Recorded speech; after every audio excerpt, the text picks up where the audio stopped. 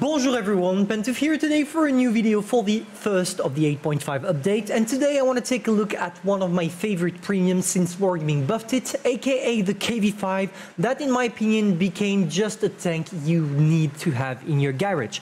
It's cheap, it's coming back for Christmas like it's the case uh, pretty much every single year and today guys we're going to take a look at this glorious piece of Russian engineering that you really want to get. Wargaming decided to buff two things about the tank. The first First is obviously its armor profile. As they showed during the 8.5 preview, you see that they touched the two cupolas, making them finally able to bounce shots. But on top of that, they strengthened the whole gun mantlet, but also the side armor there is on the turret cheeks. And to be fair, even if they didn't touch the two cupolas we have at the top, this tank is still relevant again because finally people will not be able to penetrate you like you were a piece of butter. But Wargaming did not stop here because with the latest gun, the one that penetrates quite a lot, they reduced the aim time and the reload time a little bit, sitting now at 10.0 seconds. And trust me, it's gonna do a huge difference. Because now, not only do you get a tank that really is packing some serious DPM and a great penetration, no, you also have just the big Russian tank like it was intended.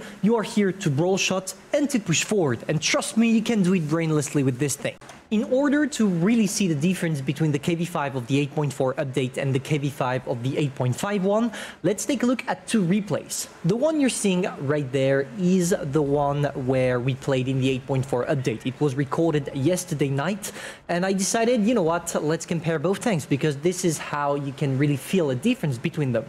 So you see that we're top tier. Usually, even with the 8.4 KV5, when you were top tier, you were able to do the job. You were able to get into position and as long as you tried to overangle by side scraping it would work perfectly. Now of course you still got to keep in mind that a lot of tanks especially tier 8 and tier 9 could penetrate you pretty much everywhere. And when I say everywhere I really want to insist everywhere. I wish I could show you the the camera um, through the use of the camera how you could get penetrated but here unfortunately it's a replay and it's recorded so I don't have access to it anymore anymore. But yeah, you see that against this guy. As long as we are over angling and you're going to see the side scrape method right now that is still working and available in the 8.5 update as long as you over angle people can't penetrate the side of the kv5 and the main thing you want to do with the tank that is not going to be changed with the 8.5 update is that you want to make people think that because you are over angling your tracks they can penetrate you.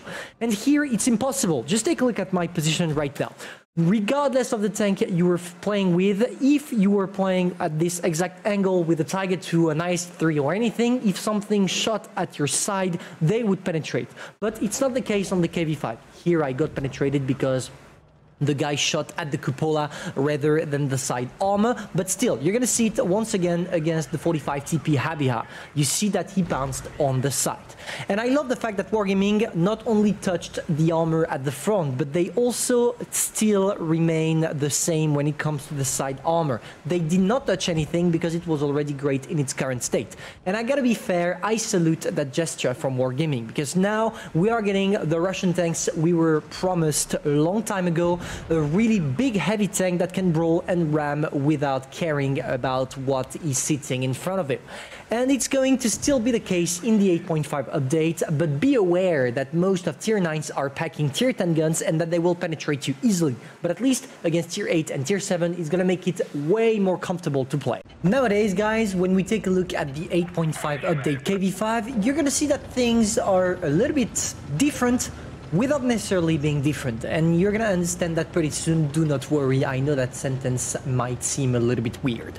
So there we go. We are playing our KV5 and we are heading straight to the medium side because it seems like that's where my team wants to go.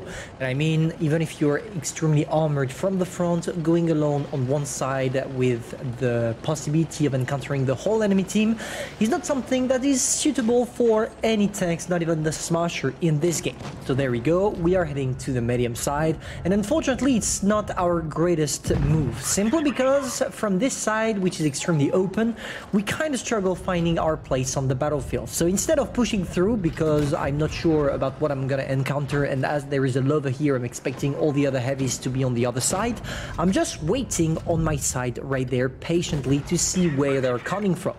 And here, as the Panzer, the Scorpion G, the Predator, sorry, the Scorpion G and the Lover are spotted, I decide to go back to my spawn. Sorry about that. So I was saying I'm heading back to my spawn and here I'm gonna encounter some juicy targets. As you know, the armor profile got increased, but not only did they increase this, they also made it nearly impossible for every single tier 7 tank to penetrate me. And I want you to take a look at what the Black Prince is doing right now. He's trying to get a shot on this side right there and the cupolas, and he's so that it's impossible to penetrate. So you might think, okay, if he can't penetrate, that's a very good news for us, because it means that nobody will actually be able to penetrate.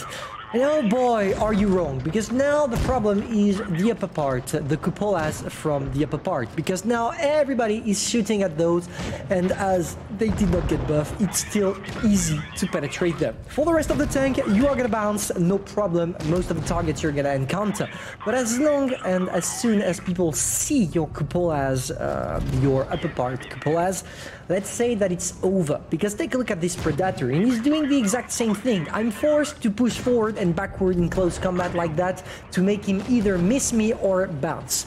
And uh, even if it worked here in this scenario, most of the time you're gonna encounter people that are still accurate with their tank, and that will probably hmm, penetrate your cupola easily. So in the end, let's say that this new buff the KV5 received was definitely needed, but is it enough when you see that people can still penetrate your cupola as the two at the tops that were not that were not uh, buffed at all. I don't know, you tell me guys. Personally, I think that it's still worth it because thanks to its DPM buff also uh, I think that the tank is now relevant again, uh, and not relevant again to make it broken, just a perfectly good and balanced tank with which you can have some fun from time to time. On top of that, I want you to keep in mind that this tank is hilarious to play in Uprising when you have the possibility of ramming everybody, so even if you don't like it in regular battles, you will love it in fun modes. So hopefully you enjoyed that little review guys, if that's the case feel free to subscribe, like and share, and personally I'm gonna see you soon for a new one.